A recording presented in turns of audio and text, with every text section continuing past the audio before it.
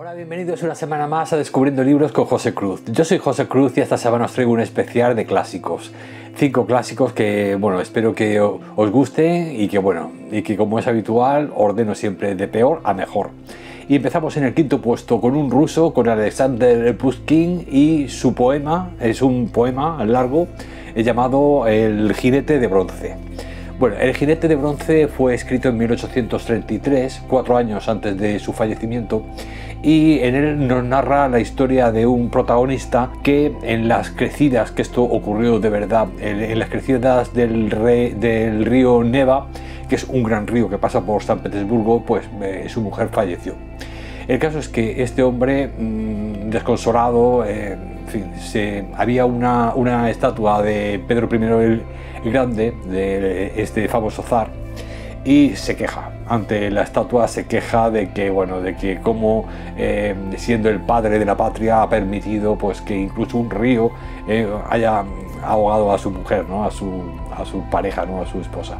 El caso es que, bueno, eh, a partir de ese momento será perseguido por una misteriosa estatua de bronce y, bueno, y, y será, pues bueno, un poema dramático, histórico, porque ya os digo que está basado en hechos reales, está muy bien escrito, lógicamente, y bueno, en la época fue algo polémico, ¿no? Porque era la época de, creo que fue de Alejandro I, y el zar en aquella época, como era tanta la fama de Pushkin, eh, sus críticas, mm, vamos, eran las críticas hacia los zares ya ni lo perseguían ni le decían nada, porque bueno, ya el hombre era ya un hombre ya muy reconocido, ya era muy mayor y no, y no tuvieron ningún tipo de represalia ¿no? contra él.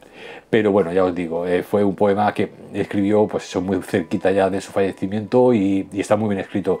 No soy yo, ya sabéis, mucho de poesía, pero bueno, reconozco que primero porque fue un documento histórico y segundo porque está muy bien escrito, porque es el, el padre de las, de las letras rusas, pues bueno, es, aconsejable siempre leerlo. Así que, pues bueno, en el quinto puesto os traigo este maravilloso poema que os digo es muy dramático, muy, en fin, muy como suele ser la literatura rusa, muy dramático, muy, mm, muy personal, muy psicológico, ¿no? Esos em, diálogos interiores que el, que el protagonista eh, tiene consigo mismo y luego con la estatua de Pedro I el Grande, que, bueno, que son muy interesantes, la verdad. Así que bueno, os, recomiendo su lectura si os gusta la poesía, sobre todo. En cuarto puesto y también con tres estrellas, os traigo a Fyodor Dostoyevsky. En este caso, esto es un ensayo, lo que os traigo ahora que se llama El bufón, el burgués y otros ensayos. Eh, fue una obra, eh, bueno, fue, fue una obra muy, muy escueta, 112 páginas, y eh, era una crítica bastante interesante hacia eh, los franceses hacia los franceses y, también pues bueno hacia eh, la forma de vivir burguesa porque sabéis que bueno tras la revolución francesa la incipiente clase social burguesa pues mm, surgió más en, en, países como Francia o en Inglaterra más que en, otros, en otras partes de Europa como era el caso de Rusia entonces esa figura del burgués él la, critica mucho.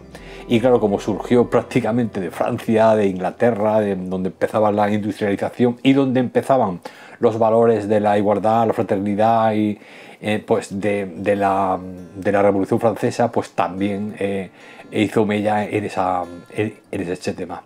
Él era, sabéis que era muy defensor de la cultura eslava, de lo que era la cultura rusa de, que, de, aquella época. Y bueno, tachaba a los franceses como, sí, ciertamente, pues bueno, la, tenía sus logros la Revolución Francesa, pero que decía que quizá los pueblos eslavos no eran tan cultos como el pueblo francés, tan con su Rousseau, Voltaire, Montesquieu, etcétera, pero sin embargo pues tenían unos valores eh, eh, más arraigados en cuanto al tema de la familia, en cuanto a los hijos, el amor por los hijos, la solidaridad en el pueblo, entre eh, la gente, cosa que se estaba perdiendo a marchas forzadas con la industrialización de Europa y sobre todo pues con el sentido de la individualidad del europeo, ¿no? del francés en este caso, que es donde más me yace en los franceses. Entonces, pues me ha gustado mucho. Son eh, pequeños ensayos novelizados, es decir, que tienen sus diálogos y todo, pero bueno, eh, él no deja todo el tiempo de, analizar la situación y de, y de decirnos su opinión. se llama así el bufón, el burgués y otros ensayos porque em, sabéis que la figura del bufón ya es una figura desaparecida. Podríamos un poco, no sé, hacer una, una cierta analogía con los payasos del, del circo, ¿no? por ejemplo también es una figura pues que hoy en día pues por supuesto el tema de los circos también pues es un es un tipo de, de, espectáculo que también va un poco ya de capa caída pero el bufón sí que era pues una figura que entonces era em, era una figura en el siglo XIX en el XVIII XVII era una figura que hacía brometas hacía como una especie de monólogos como el monologuista de ahora. Eh, te recitaba poemas, te contaba historias y tal, y con, el, y con el humor introducía elementos de la realidad, es decir, metía crítica social, era una, una, una forma un poco como los comediantes de hoy en día, que vas, te ríes, pero sabes que está están criticando, están soltando ahí crítica social y están ahí soltando verdades como puños que quizás de una forma seria no podrían soltar. Entonces lo hacen un poco veladamente con ese humor, ¿no? Entonces los bufones de aquella época eran así.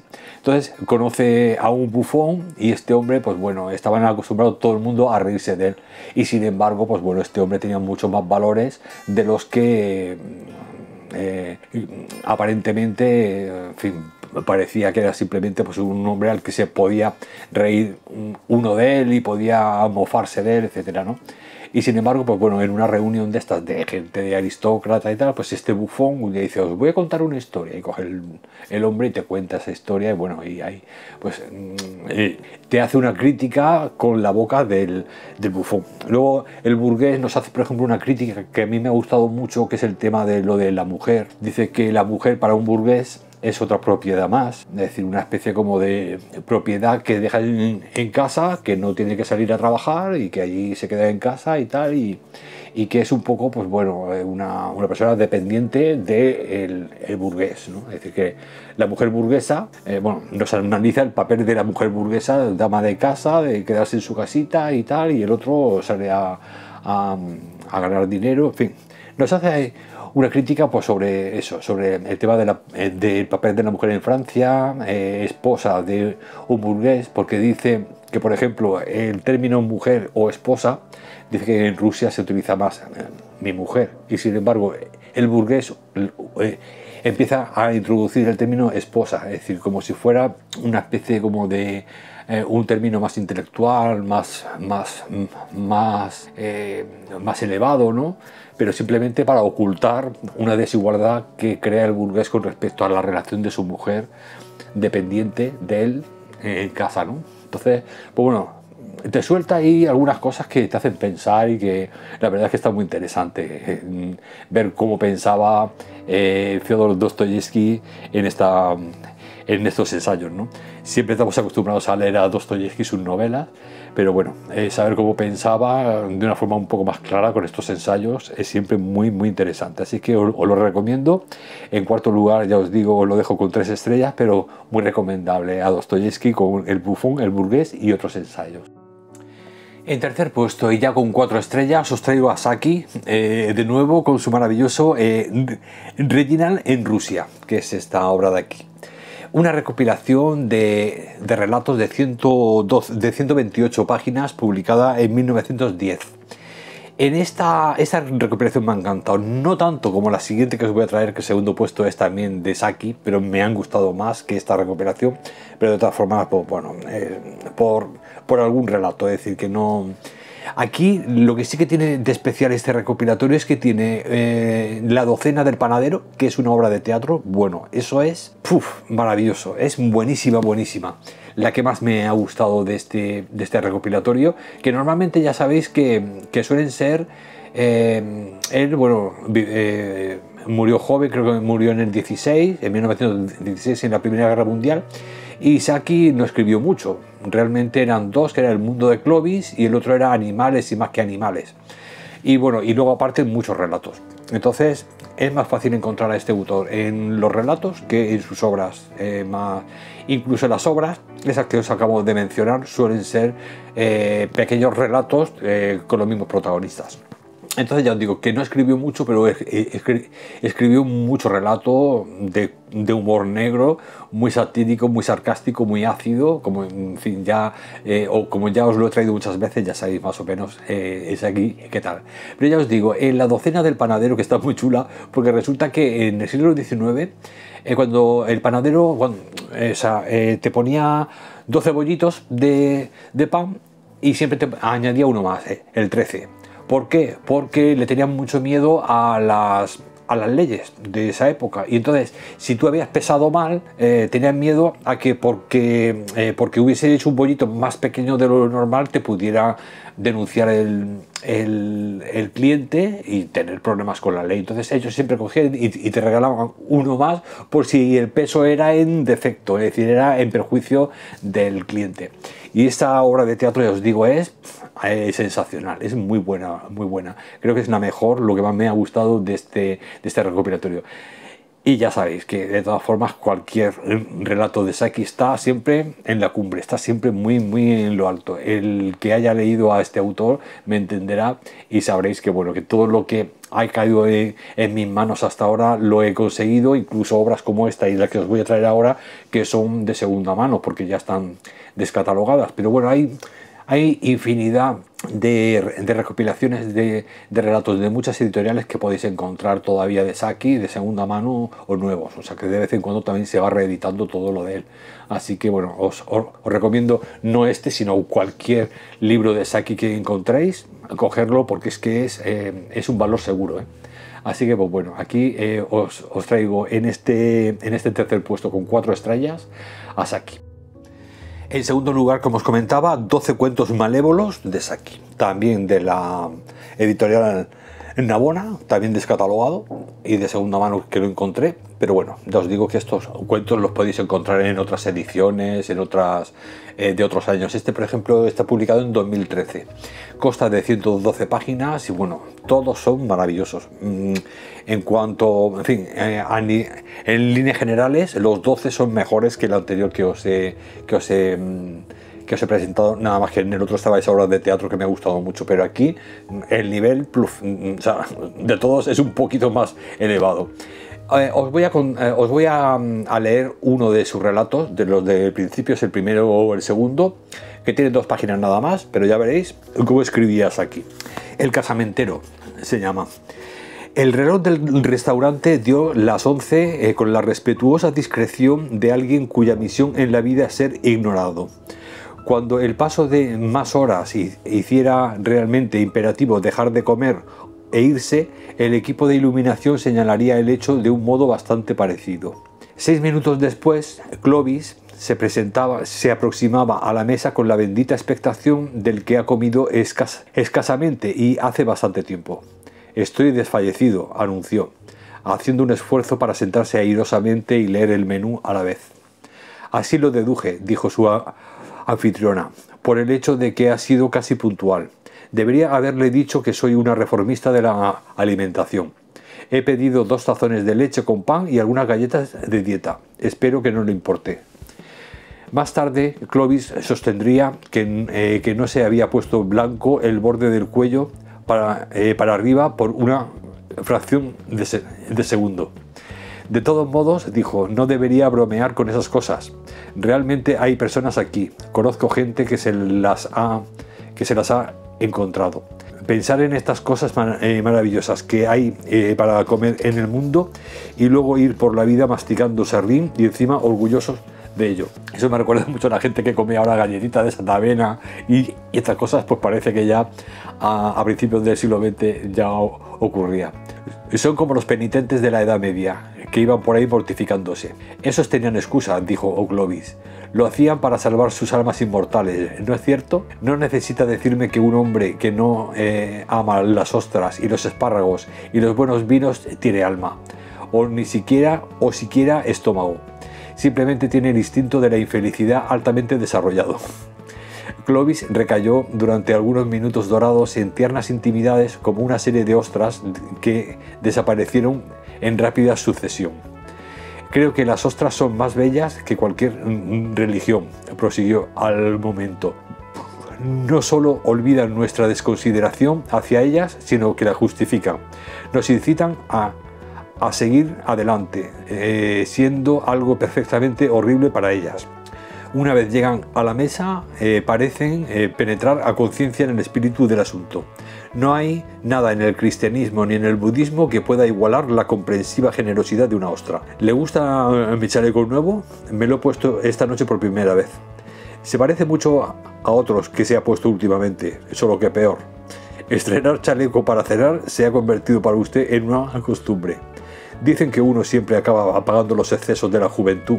Afortunadamente eso no rige en lo que se refiere a la ropa. Mi madre está pensando en, casarse. ¿Otra vez? Es la primera vez. Por supuesto, usted lo sabrá mejor, que nadie. Yo tenía la impresión de que anteriormente ya se había casado al menos una o dos veces, eh, tres veces, para ser matemáticamente exactos. Quería decir que es la primera vez que ha pensado en casarse. Las otras veces lo hizo sin pensar en realidad soy yo. Me recuerda también esto diálogos mucho a Groucho Marx. eh, eso, esos diálogos también de principios del siglo XX que soltaba de vez en cuando en las fiestas aquellas de los años 20. En realidad eh, soy yo quien realmente está pensando por ella en esta ocasión. Ya sabe, hará uno o dos años desde que, que su primer marido murió. Usted evidentemente cree que la brevedad es el alma de la viudedad. Bueno, me pareció que se estaba deprimiendo y empezando a sentar la cabeza, lo cual no le sienta bien en absoluto. El primer síntoma que noté fue eh, cuando empezó a quejarse de que vivíamos por encima de nuestras posibilidades. Todas las personas decentes viven por encima de sus posibilidades hoy en día y los que no son respetables eh, viven por encima de las posibilidades de otros. Algunos individuos especialmente dotados se las arreglan para hacer ambas cosas. No se trata tanto de un don como de una industria. La crisis llegó, prosiguió Clovis, cuando de pronto desarrolló la teoría de que era malo trasnochar y pretendió que estuviera en casa a, unas horas a, la una todas las noches. Imagine qué trastorno para mí, que cumplí 18 en mi último cumpleaños. En sus últimos dos cumpleaños, para ser matemáticamente exactos. Oh, bueno, eso no es culpa mía. No pienso llegar a los 19 mientras mi madre siga en los 37. Uno debe respetar las apariencias. Tal vez su madre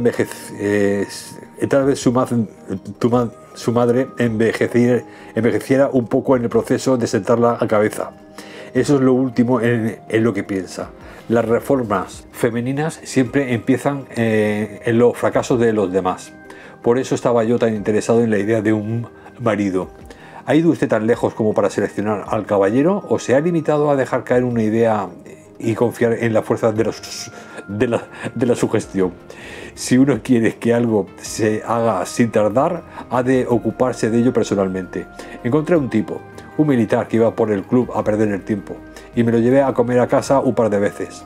Había pasado la mayor parte de su vida en la frontera india, construyendo carreteras y aliviando hambrunas y minimizando terremotos y toda esa clase de cosas que hace uno en, las fronteras. Podía hablar sensatamente con una cobra malhumorada en 15 lenguas, en 15 lenguas eh, nativas distintas y, probablemente había, eh, sabía qué es lo que hay que hacer si te encuentras a un pícaro elefante en tu campo de croquet, pero era tímido y apocado con las mujeres. Le dije a mi madre en privado que era un absoluto misógino con lo que eh, por, supuesto se lanzó a flirtear con él eh, con todos sus medios, que no son pocos. Y el caballero se mostró receptivo. He oído, que, he oído que le dijo a alguien en el club que andaba buscando un destino en las colonias, algo con mucho trabajo duro para un joven amigo suyo, así que deduzco que tiene alguna esperanza de entrar en la familia por medio de una boda. ¿Parece usted destinado a ser la víctima de la reforma? después de todo, Clovis se limpió de los labios los restos de café turco y el esbozo de una sonrisa lentamente guiñó un párpado derecho, lo que una vez interpretado significaba probablemente no lo creo. Muy bueno, muy bueno. Bueno, pues así todo. Son todos relatos maravillosos, muy, muy incisivos, muy, con un humor muy inteligente, este típico británico y bueno, y, y yo siempre estoy con la sonrisilla puesta durante todos los relatos. Así que son una gozada, la verdad. Bueno, pues aquí en el segundo puesto con cuatro estrellas, 12 eh, cuentos malévolos de Saki. Y en primer lugar y con cuatro estrellas también os traigo la declaración de Estela Ma, Ma, Maverly de F, a ver, ¿cómo se llama? De Thomas Einstein, es que él firmaba como F. Einstein. Bueno, pues en la declaración de, de Estela Maverly es una novela dramática eh, y de intriga eh, publicada, bueno, esta, esta está publicada en este año, en el 2024, y consta de 160 páginas. No sé cuándo la escribió originalmente, a ver si lo pone por aquí, pero no sé cuándo escribió, no lo pone en el libro. Bueno, pues es una novela que está, ya os digo, esta es la, joya de la corona de esta semana y es una novela que me ha fascinado. Es clásica, ya os digo, de principios de, del... Es, de principios del siglo XX. No sé si llegará a finales, porque ya os digo, si falleció en el 34, pues podría haberlo eh, escrito perfectamente a principio de siglo, pero sí que se, se nota ese ambientillo victoriano todavía. De este, autor, eh, este, autor, británico. En esta obra eh, hay dos protagonistas, una es Estela, la que escribe esta declaración, es un libro corto que es la declaración, lo que escribe ella contando lo que ocurrió. Y por el otro lado está su amiga Evelyn que es la segunda protagonista. Bueno, pues Estela y Evelyn eh, son muy, muy amigas, muy amigas desde la infancia. Entonces, pues bueno, al final, por circunstancias, Estela tiene que irse a vivir con. Eh, Estela tiene que irse a vivir con Evelyn y em, aquí en esta novela tendremos que ver si durante la declaración de Estela em, ella sufre de un trastorno psiquiátrico o por, el contrario, Evelyn ha sido poseída por un demonio. Hay tintes eh, sobrenaturales, como podéis imaginar, tintes sobrenaturales, tema de fantasmas, sobre todo de posesiones. Y luego tenemos otro tema que es el tema de la, eh, pues bueno, de, la conducta errónea y extraña que tiene Estela, no desde el momento en el que se va a vivir con, con Evelyn, sino desde pequeña, ya con su familia, ya era una niña muy respondona, muy, muy conflictiva, siempre estaba mm, discutiendo con todo el mundo, incluso con la gente que, que quería.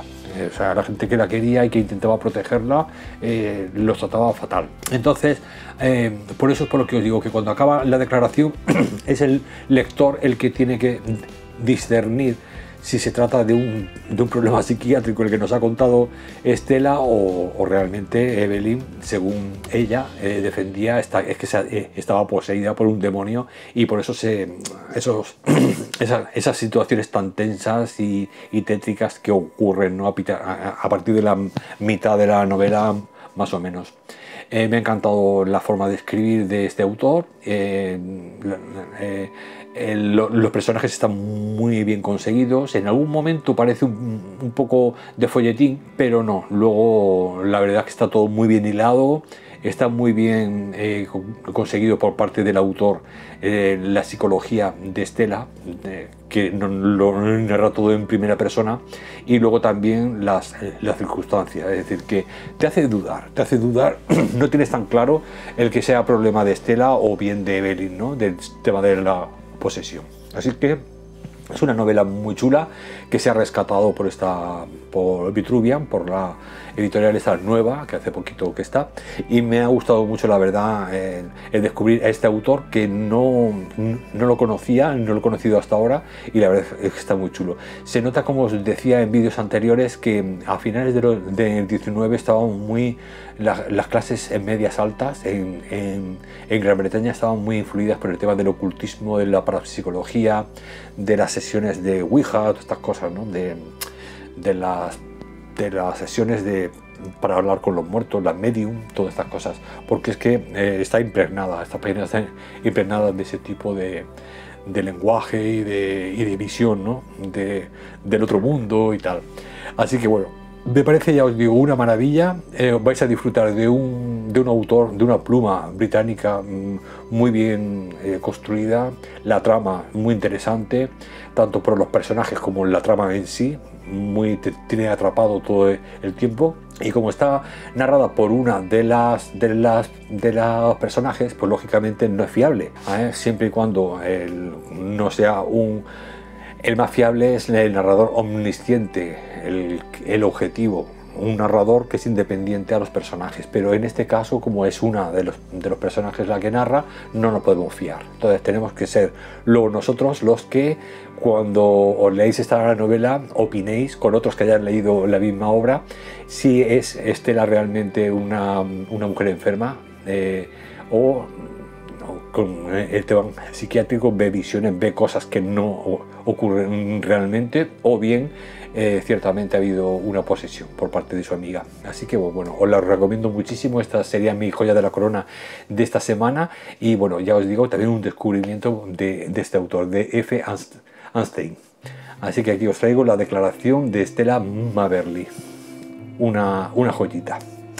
Y bueno, ya con esto ya me despido. Espero que os haya gustado el, bueno, el, ensayo de, de Dostoyevsky, el poema de, este de, de, Pushkin, luego el, el este,